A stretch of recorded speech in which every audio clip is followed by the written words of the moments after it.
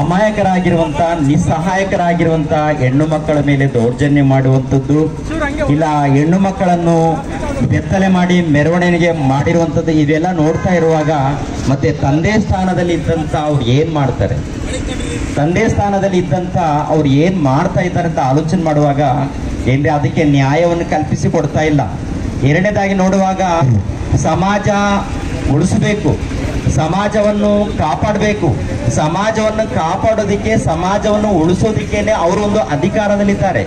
ಮಂತ್ರಿ, ಪ್ರಧಾನ ಮಂತ್ರಿ ಅಂದ್ರೆ ದೇಶಕ್ಕೆ ಒಬ್ಬ ಸೇವಕರು ತರ ಒಬ್ಬ ಒಳ್ಳೆ ರೀತಿಯಲ್ಲಿ ಪರಿಚರ್ಯ ಮಾಡುವಂತ ಒಂದು ಸ್ಥಾನದಲ್ಲಿದ್ದಾರೆ. ಅಂತ ಸ್ಥಾನದಲ್ಲಿದ್ದಂತ ಅವರು ಏನ್ ಮಾಡ್ತಾ ಇದಾರೆ ಗಮನಿಸ್ತಾ ಇಲ್ಲ, ಆಲೋಚನೆ ಮಾಡ್ತಾ ಇಲ್ಲ. ಒಟ್ನಲ್ಲಿ ಏನಪ್ಪಾ ಅಂತಂದ್ರೆ ಅಲ್ಲಿ ಇರುವಂತ ಗಿರಿಜನರಾಗಿರ್ಬೋದು, ಇಲ್ಲ ಬುಡಕಟ್ಟು ಜನಾಂಗದವರಾಗಿರ್ಬೋದು, ಅವ್ರು ಯಾರು ಕೂಡ ಒಟ್ಟಿನಲ್ಲಿ ಇರಕೂಡದು ಎನ್ನುವಂತ ಒಂದು ಉದ್ದೇಶದಿಂದ, ದುರುದ್ದೇಶದಿಂದ, ರಾಜಕೀಯ ಕುತಂತ್ರದಿಂದ ಅಲ್ಲಿ ಮಾಡುವಂತ ಕಾರ್ಯಕ್ರಮಗಳು ಏನಂತ ನೋಡುವಾಗ ಏನ್ರಿ ನೇತಿ ಜನಾಂಗದವರಿಗೆ ಪ್ರಿಯರಾದ ದೇವರ ಮಕ್ಕಳಿರ ಏನ್ರಿ ಮಾರಣಕರವಾದಂತಹ ಆಯುಧಗಳನ್ನ ಕೊಟ್ಟು ಒಟ್ಟಲ್ಲಿ ಅವ್ರನ್ನ ಇಲ್ಲದಂತೆ ಮಾಡಿ, ಇಲ್ಲಾಂದ್ರೆ ಓಡಿಸ್ಬಿಡ್ರಿ ಎನ್ನುವಂತ ಕುತಂತ್ರದಿಂದ ಆ ಒಂದು ಮಣಿಪುರ್ ರಾಜ್ಯದಲ್ಲಿ ನಡೀತಾ ಇದೆ. ಅದು ಮಣಿಪುರ್ ರಾಜ್ಯವನ್ನು ಪರಿಪಾಲನೆ ಮಾಡುವಂತ ಮಂತ್ರಿ ಇರೋರ್ಗೂ ಗೊತ್ತು, ಅಲ್ಲಿರುವಂತ ಎಂ ಎಲ್ ಎರವ್ರಿಗೂ ಗೊತ್ತು, ಅದೇ ಪ್ರಕಾರ ಪ್ರಧಾನ ಮಂತ್ರಿಗೂ ಗೊತ್ತು. ಇದು ಟೋಟಲ್ ಪ್ರಪಂಚ ದೇಶದಲ್ಲಿ ಎಲ್ಲ ನೋಡ್ತಾ ಇದ್ದಾರೆ. ಆದ್ರೆ ಇವಾಗಲೂ ಕೂಡ ಅವರಿಗೆ ಕನಿಕರ ಬರ್ತಾ ಇಲ್ಲ. ಅಧಿಕಾರದಲ್ಲಿದ್ದಾರೆ. ಇವಾಗಲೂ ಕೂಡ ಹೋಗೋಣ, ಸರಿ ಮಾಡೋಣ ಎನ್ನುವಂತ ಆಲೋಚನೆ ಬರ್ತಾ ಇಲ್ಲ. ಯಾಕೆ ಆ ರೀತಿ ಇದ್ದಾರೆ? ಯಾಕೆ ಎಂತ ಇಂಥ ಆಲೋಚನೆ ಯಾಕೆ ಅವ್ರು ಮಾಡ್ತಾ ಇದ್ದಾರೆ ಅಂತ ನೋಡುವಾಗ ಒಟ್ಟಲ್ಲಿ ಏನ್ರಿ ಪ್ರೇ, ಪ್ರಿಯರಾದ ದೇವರ ಮಕ್ಕಳಿರ? ಮತ್ತೆ ಕ್ರೈಸ್ತರಂದ್ರೆ ಅಷ್ಟೊಂದು ಅಸೂಯನ? ಕ್ರೈಸ್ತರಂದ್ರೆ ಅಷ್ಟೊಂದು ಒಂದು ಹಗೆತನದಲ್ಲಿ ಇದ್ದಾರ? ಏನ್ ಮಾಡ್ತಾರೆ? ಕ್ರೈಸ್ತರು ಮಾಡುವಂಥದ್ದು ಏನ್ ಗೊತ್ತಾ? ಎಲ್ಲರಿಗೋಸ್ಕರ ಪ್ರಾರ್ಥನೆ ಮಾಡುವಂಥದ್ದು. ಹಾಗೂ ಎಲ್ಲರನ್ನ ಕ್ಷಮಿಸುವಂಥದ್ದು. ಆನಂತರ ಒಳ್ಳೆ ರೀತಿಯಲ್ಲಿ ಬೋಧನೆ ಮಾಡುವಂಥದ್ದು. ಇದು ನಮ್ಮ ಸಮಾಜಕ್ಕೆ ಬೇಡವಾ? ಇದು ನಮ್ಮ ಸಮಾಜಕ್ಕೆ ಬೇಡ ಅಂತ ಹೇಳಿ ಬೇರಾದ ದೇವ್ರ ಮಕ್ಕಳಿರ, ಇಂಥೊಂದು ಭಯಂಕರವಾದಂಥ ಕಾರ್ಯಕ್ರಮವನ್ನು ಆ ಒಂದು ರಾಷ್ಟ್ರದಲ್ಲಿ, ಆ ಒಂದು ರಾಜ್ಯದಲ್ಲಿ ನಡೆಸ್ತಾ ಇದ್ದಾರೆ. ಇದು ಒಟ್ಟಲ್ಲಿ ನಮ್ಮ ಭಾರತ ದೇಶದಲ್ಲಿ ಒಂದು ಅವಮಾನಕರವಾದಂಥ ಕಾರ್ಯಕ್ರಮ. ಭ್ರಷ್ಟಾಚಾರದ ಕಾರ್ಯಕ್ರಮ ಇದೆಲ್ಲ ಕೂಡ. ಯಾಕೆಂದ್ರೆ ಒಂದು ಉನ್ನತ ಸ್ಥಾನದಲ್ಲಿ, ಒಂದು ಶ್ರೇಷ್ಠ ಸ್ಥಾನದಲ್ಲಿ ಇರುವಂತ ಅವರು ಹೊಟ್ಟೆ ಕಾಪಾಡಬೇಕು, ರಕ್ಷಣೆ ಕೊಡಬೇಕು, ರಕ್ಷಣೆಯನ್ನು ಕಲ್ಪಿಸಿ ಕೊಡಬೇಕು ಆದರೆ ಈ ವಿಷಯದಲ್ಲಿ ಅದು ಬಿಜೆಪಿ ಸರ್ಕಾರ ವಿಫಲವಾಗಿದೆ.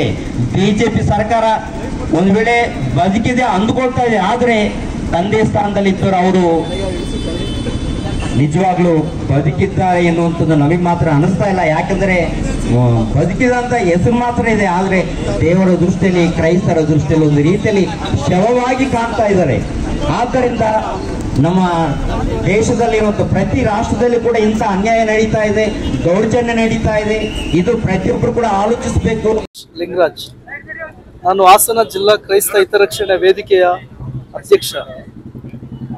ಇವತ್ತೇನು ನಾವು ಪ್ರತಿಭಟನೆಗೆ ಸೇರಿದ್ದೀವಿ, ಈ ಪ್ರತಿಭಟನೆಯ ಮುಖ್ಯ ಧ್ಯೇಯ ಮಣಿಪುರ ರಾಜ್ಯದಲ್ಲಿ ಆಗ್ತಿರುವಂತ ನಮ್ಮ ದೇಶದ ಅಂಗರಾಜ್ಯವಾಗಿರುವಂತ ಮಣಿಪುರ ರಾಜ್ಯದಲ್ಲಿ ಕ್ರೈಸ್ತರ ಮೇಲೆ, ಕ್ರೈಸ್ತ ಸಮುದಾಯಗಳ ಮೇಲೆ ಜನಾಂಗೀಯ ಕೃತ್ಯ ಜನಾಂಗಿಗಳ ಮೇಲೆ ಒಂದು ಏನು ಏ ಕೃತ್ಯ ನಡೀತಾ ಇದೆ, ಅದರ ವಿರುದ್ಧ ನಾವು ಈ ಒಂದು ಪ್ರತಿಭಟನೆಯನ್ನು ಹಮ್ಮಿಕೊಂಡಿದ್ದೇವೆ. ಸಹಸ್ರಾರು ಸಂಖ್ಯೆಯಲ್ಲಿ ನಮ್ಮೊಟ್ಟಿಗೆ ಅನೇಕ ಜಿಲ್ಲೆಯಾದ್ಯಂತ ಇರುವಂಥ ಕ್ರೈಸ್ತ ನಾಯಕರುಗಳು ಮತ್ತು ಮುಖಂಡರುಗಳು ಎಲ್ಲರೂ ನಮ್ಮೊಟ್ಟಿಗೆ ಸೇರಿ ಕೈ ಜೋಡಿಸಿದ್ದಾರೆ ಪ್ರಗತಿಪರರು, ಸಾಮಾಜಿಕ ಹೋರಾಟಗಾರರು ಎಲ್ಲರೂ ನಮ್ಮೊಟ್ಟಿಗೆ ಕೈ ಜೋಡಿಸಿದ್ದಾರೆ ನಮ್ಮ ಉದ್ದೇಶ ಇಷ್ಟೇ.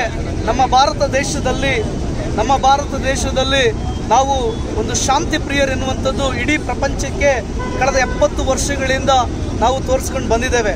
ಆದರೆ ಕಳೆದ ಕೆಲವು ವರ್ಷಗಳ ಹಿಂದೆಯಿಂದ ನಮ್ಮ ದೇಶದಲ್ಲಿ ಆಗ್ತಿರುವಂಥ ಅಹಿತಕರ ಘಟನೆಗಳ ಬಗ್ಗೆ ನಾವು ನೋಡುವಾಗ ಕುವೆಂಪುರವರು ಹೇಳಿದ ಒಂದು ಮಾತು ಮರೆಯಾಗಿ ಹೋಗ್ತಾ ಇದೆ.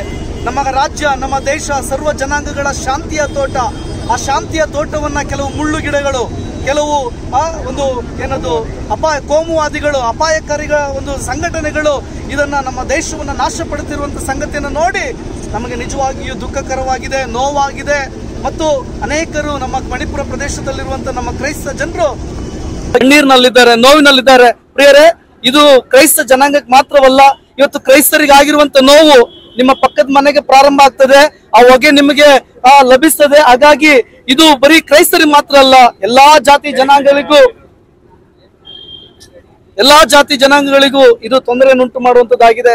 ಆದ್ರಿಂದ ನನ್ನ ಮನವಿ, ಒಬ್ಬ ಜಿಲ್ಲಾಧ್ಯಕ್ಷನಾಗಿ ನನ್ನ ಮನವಿ, ನಾವು ಕ್ರೈಸ್ತರು, ನಾವು ಸಮಾಧಾನ ಪ್ರಿಯರನ್ನು ಎನ್ನುವಂತ ಒಂದು ವಿಚಾರವನ್ನ ನೀವು ಅಡ್ವಾಂಟೇಜ್ ತಗೊಳ್ಳದೆ ಎಚ್ಚರಿಕೆಯಿಂದ ನೀವು ಮುಂದುವರಿಬೇಕು. ದಯವಿಟ್ಟು ಅಲ್ಲಿ ಮಣಿಪುರದಲ್ಲಿ ಏನಾಗ ಹಿಂಸಾಚಾರಗಳು ನಡೀತಾ ಇದೆ. ಅಲ್ಲಿ ಕುಕ್ಕಿ ಸಮಾಜದಲ್ಲಿರುವಂತ ನಮ್ಮ ಸಹೋದರ ಸಹೋದರಿಯರಿಗೆ ನ್ಯಾಯ ದೊರಕಿಸಿಕೊಡುವಲ್ಲಿ ನಾವು ಪ್ರಧಾನಮಂತ್ರಿಯವರಿಗೆ ಮನವಿ ಮಾಡ್ತಾ ಇದ್ದೀವಿ, ರಾಷ್ಟ್ರಪತಿಯವರಿಗೆ ಮನವಿ ಮಾಡ್ತಾ ಇದ್ದೀವಿ. ನನ್ಗೆ ಗೊತ್ತಾಗ್ತಾ ಇಲ್ಲ, ಕರ್ನಾಟಕ ರಾಜ್ಯದ ಚುನಾವಣೆಯಲ್ಲಿ ಪ್ರಧಾನಮಂತ್ರಿಯವರು ಮಂತ್ರಿಯವರು ಬೀದಿ ಬೀದಿಗಳಲ್ಲಿ ಅಲ್ಲದ್ರು ಜಿಲ್ಲೆ ಜಿಲ್ಲೆಗಳಲ್ಲಿ ಬಂದು ಮೆರವಣಿಗೆ ಮಾಡಿದ್ರು. ಆದ್ರೆ ಮಣಿಪುರ ಪ್ರದೇಶದಲ್ಲಿ ಆಗ್ತಿರುವಂತಹ ಘಟನೆಗಳ ಬಗ್ಗೆ ಅವರು ಮೌನ ವಹಿಸಿರುವಂತದ್ದು ನಮಗೆ ಒಂದು ನೋವಿನ ಸಂಗತಿ. ಪ್ರಧಾನಮಂತ್ರಿಯವರೇ, ನನ್ನ ಮನವಿ, ದಯವಿಟ್ಟು ನೀವು ಬಾಯಿ ತೆಗೆದು ಮಾತಾಡಿ. ನಾವು ಈ ದೇಶದ ಪ್ರಜೆಗಳೇ ನಾವು ಕ್ರೈಸ್ತರು ಈ ದೇಶಕ್ಕೆ ಬಹುಪಾಲು ಒಂದು ಏನದು ಎಷ್ಟೋ ಕಾಂಟ್ರಿಬ್ಯೂಷನ್ ಕೊಡುಗೆಗಳನ್ನ ಕೊಟ್ಟಿದ್ದಾರೆ. ಆದ್ರಿಂದ ಕೊಡುಗೆಗಳು ನೀವು ಓಡಾಡುವಂತ ಫ್ಲೈಟ್ ಸಹ ಕ್ರೈಸ್ತರು ಕೊಟ್ಟಂತ ಕೊಡುಗೆ ಸ್ವಾಮಿ ದಯವಿಟ್ಟು ನಾವು ನಿಮ್ಮಲ್ಲಿ ಪ್ರೀತಿಯಿಂದ ಮನವಿ ಮಾಡ್ಕೊಳ್ತಾ ಇದ್ದೀವಿ. ರಾಷ್ಟ್ರಪತಿ ರಾಷ್ಟ್ರಪತಿಯವರೇ ದಯವಿಟ್ಟು ಈ ವಿಚಾರದಲ್ಲಿ ಕ್ಯಾಬಿನೆಟ್ ಮಿನಿಸ್ಟರ್ಸ್ಗಳು ಗಳು ಅಲ್ಲಿರುವಂತ ಒಂದು ಮಣಿಪುರದ ರಾಜ್ಯದಲ್ಲಿರುವಂತ ಎಂ ಎಲ್ ಎ ಅವರು ಬಿಜೆಪಿ ಎಂ ಎಲ್ ಎ ಅವರು ಇದನ್ನ ಸರಿ ಅಲ್ಲಲ್ಲ ಅಲ್ಲಿರುವಂತ ಬಿಜೆಪಿ ಎಂ ಎಲ್ ಎ ಅವರು ತೀವ್ರವಾಗಿ ಖಂಡಿಸಿದ್ದಾರೆ. ಅವರ ಹೇಳಿಕೆಯನ್ನು ಸಹ ನೀವು ಪರಿಗಣಿಸದೆ ಇವತ್ತು ಏನು ನೀವು ಒಂದು ತೊಂದರೆ ಕೊಡ್ತಾ ಇದ್ರಿ ಕ್ರೈಸ್ತ ಸಮುದಾಯ ಸಮಾಜ ಸಮಾಜಕ್ಕೆ ಬಹಳ ಅನ್ಯಾಯಕರವಾದದ್ದು ಬಹಳ ಅನ್ಯಾಯಕರವಾದದ್ದು. ಕ್ರೈಸ್ತ ಸಮಾಜ ಇವತ್ತೇನು ಸುಮ್ಮನೆ ಇದೆ ಅಂತ ಅಲ್ಲ. ಮುಂದಿನ ದಿನಗಳಲ್ಲಿ ನಾವು ಉಗ್ರವಾದ ಪ್ರತಿಭಟನೆಗಳನ್ನ ನಾವು ಮಾಡ್ತೇವೆ. ಉಗ್ರ ಉಗ್ರವಾದ ಹೋರಾಟಗಳನ್ನ ನಾವು ಮಾಡ್ತೇವೆ. ನಮಗೂ ಹಕ್ಕಿದೆ. ನಾವು ಪ್ರಜಾಪ್ರಭುತ್ವ ದೇಶದಲ್ಲಿ ವಾಸಿಸ್ತಾ ಇದೀವಿ ನಮಗೂ ಸಂವಿಧಾನ ಇದೆ. ಬಾಬಾ ಸಾಹೇಬ್ ಅಂಬೇಡ್ಕರ್ ಅವರು ನಮಗೂ ಸಂವಿಧಾನ ಕೊಟ್ಟಿದ್ದಾರೆ. ಆದುದರಿಂದ ದಯವಿಟ್ಟು ಮಾನ್ಯ ಪ್ರಧಾನ ಮಂತ್ರಿಗಳೇ ಮಾನ್ಯ ರಾಷ್ಟ್ರಪತಿಗಳೇ ಅಲ್ಲಿರುವಂತಹ ಬಿಜ ಮಣಿಪುರದ ಒಂದು ಏನು ಬೀರೇನ್ ಸಿಂಗ್ ಅವರೇ, ಎಚ್ಚೆತ್ತುಕೊಳ್ಳಿ. ಈ ಕ್ಷಣದಲ್ಲೇ ಅಲ್ಲಿರುವಂತಹ ಹಿಂಸಾಚಾರ ನಿಲ್ಲಬೇಕು. ಕ್ರೈಸ್ತರಿಗೆ ಆಗಿರುವಂತ ಅನ್ಯಾಯಕ್ಕೆ ನ್ಯಾಯ ದೊರಕಿಸ್ಕೊಡ್ಬೇಕು. ಅವ್ರೇನೆಲ್ಲ ಕಳ್ಕೊಂಡಿದ್ದಾರೆ. ಅದಕ್ಕೆ ನೀವು ಒಂದು ಕೋಟಿ ಪರಿಹಾರಗಳನ್ನ ನೀವು ಕೊಡ್ಬೇಕಂತ ನಾವು ನಾವು ಈ ಸಮಯದಲ್ಲಿ ಒಂದು ಹಾಸನ ಜಿಲ್ಲಾ ಕ್ರೈಸ್ತ ಹಿತರಕ್ಷಣೆ ವೇದಿಕೆ ಅಧ್ಯಕ್ಷನಾಗಿ ನಾನು ಒತ್ತಾಯ ಪಡಿಸ್ತಾ ಇದ್ದೀನಿ, ಆಗ್ರಹ ಪಡಿಸ್ತಾ ಇದ್ದೀನಿ. ನನ್ನ ಹೆಸರು ರಾಜೇಶ್ ಲಿಂಗರಾಜ್. ನಾನು ಹಾಸನ ಜಿಲ್ಲಾ ಕ್ರೈಸ್ತ ಹಿತರಕ್ಷಣೆ ವೇದಿಕೆ ಅಧ್ಯಕ್ಷ.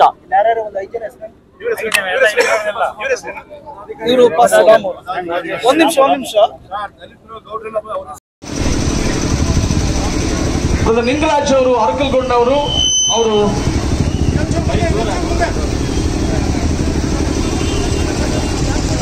ಬ್ರದರ್ ಲಿಂಗರಾಜ್ ಅವರು ಇದ್ರೆ ನಮ್ಮ ಮಧ್ಯದಲ್ಲಿ, ಅವರು ಎರಡು ಮಾತುಗಳಾಡ್ತಾರೆ ಅದು ಅವ್ರು ಇಲ್ಲದಾದ್ರೆ ನಮ್ಮ ಪಾಸ್ ಕುಮಾರ್ ಅವರು. ಅದನ್ನು ಖಂಡಿಸಿ ಬೃಹತ್ ಪ್ರತಿಭಟನಾ ಮೆರವಣಿಗೆನ ಹಮ್ಮಿಕೊಂಡಿದ್ದೇವೋ ಈ ಸಮಯದಲ್ಲಿ ಈ ಒಂದು ಪ್ರತಿಭಟನಾ ರ್ಯಾಲಿ ನಡೆಸಿದಂತ ಒಂದು ಮುಖ್ಯ ಉದ್ದೇಶ ಏನಪ್ಪ ಅಂತಂದ್ರೆ ಮೇ ತಿಂಗಳ ಐದನೇ ತಾರೀಕಿನಿಂದ ನಿರಂತರವಾಗಿ ನಿರಂತರವಾಗಿ ಮಣಿಪುರ ರಾಜ್ಯದಲ್ಲಿ ಅಲ್ಲಿ ಒಂದು ದೊಡ್ಡ ಗಲಭೆ ನಡೀತಾ ಇದೆ. ಹಿಂಸಾಚಾರ ನಡೀತಾ ಇದೆ. ಸ್ತ್ರೀಯರ ಮೇಲೆ ಅತ್ಯಾಚಾರಗಳು ನಡೀತಾ ಇದೆ. ಪ್ರೇಮ ಗಲಭೆಗಳನ್ನ ಸೃಷ್ಟಿಸಿ ಸಮಾಜದ ಶಾಂತಿಯನ್ನ ಕದಡುವಂತ ಕೆಲಸ ನಡೀತಾ ಇದೆ. ಈ ಒಂದು ಸಮಸ್ಯೆಗಳ ಮಧ್ಯದಲ್ಲಿ ಅನೇಕ ಜನರು ಮನೆಗಳನ್ನ ಕಳ್ಕೊಂಡಿದ್ದಾರೆ ಆಸ್ತಿ ಪಾಸ್ತಿ ಕಳ್ಕೊಂಡಿದ್ದಾರೆ, ತಂದೆ ತಾಯಿಗಳನ್ನ ಕಳ್ಕೊಂಡಿದ್ದಾರೆ ಮಕ್ಕಳನ್ನ ಕಳ್ಕೊಂಡಿದ್ದಾರೆ. ಅದರ ಜೊತೆಗೆ ಅನೇಕ ಹೆಣ್ಣು ಮಕ್ಕಳ